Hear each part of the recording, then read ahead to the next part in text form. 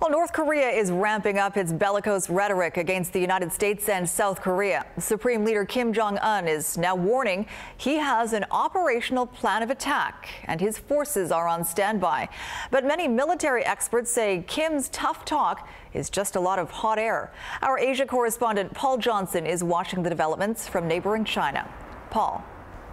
Sophie, in the past 90 days, we've seen North Korea test a long range missile set off a nuclear bomb, and then get into this pattern of talking tough against the United States. And this culminated in this news today that leader Kim Jong-un has apparently signed orders to put his rocket and his missile forces on standby. Now, presumably, this is in response to several weeks worth of war games that the United States has been conducting with its ally, South Korea.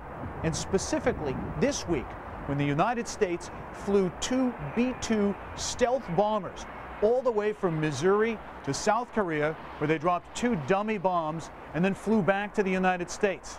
This is the first time that the United States has ever used those aircraft in a drill like this, and those bombers are nuclear capable. In our country, we're building additional missile interceptors. They're prepared for anything that might take place, but hopefully what will occur is cooler heads will prevail and this will de-escalate and uh, hopefully we can have uh, fruitful negotiations about the future.